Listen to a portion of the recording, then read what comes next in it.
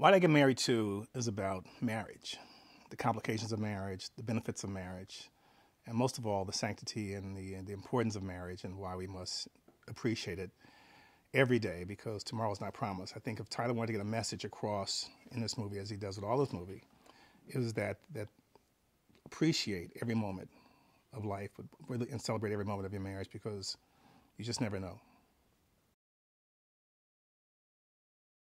Just really has an incredible intuitive instinct about marriages and the complications of marriage.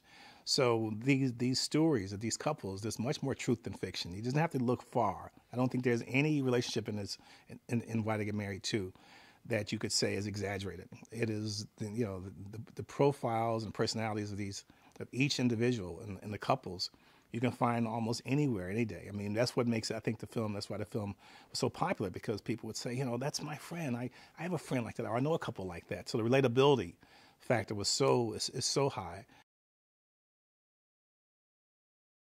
And why they get married too?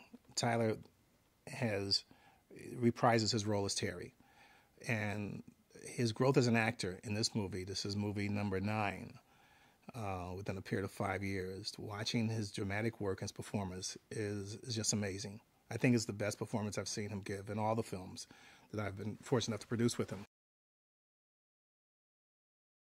Janet Jackson's performance is is is just startling, and the the depth of range, the rage. I mean, we think of we never knew Janet could be so angry and so mean, but when provoked, as she is in this film, she expresses rage in a way we've never seen. Jill Scott, you know, created the character of Sheila in the first film, and and once again plays it here.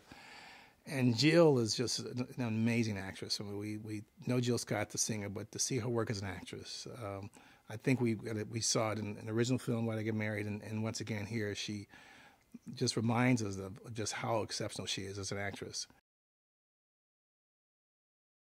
I cannot imagine this movie without Tasha Smith, and I don't think anyone could play that role. I mean, I think she has branded that role in a way um, and put her stamp on it, and, and, the audience looks forward to it. I mean, I think we'd have a a, a huge a riot from Tyler's fans if, if we didn't have Angela in this movie because they want to know what becomes of that marriage. Their marriage is the most interesting because it's the most entertaining. You know, because it's the most conflict, the most passion, um, you know, and you know, the most volatile. But it is not lacking for love.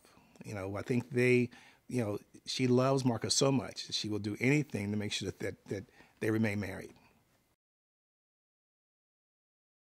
It's a beautiful type of colonial plantation. I may not be describing architecture, but it is large enough to accommodate, you know, four or five couples, and set in its own on its own private beach and it was just the perfect setting. And it's, uh, I think, once again, the locations and, and the, the, the homes in the first woman's film have been characters and stars in their own way.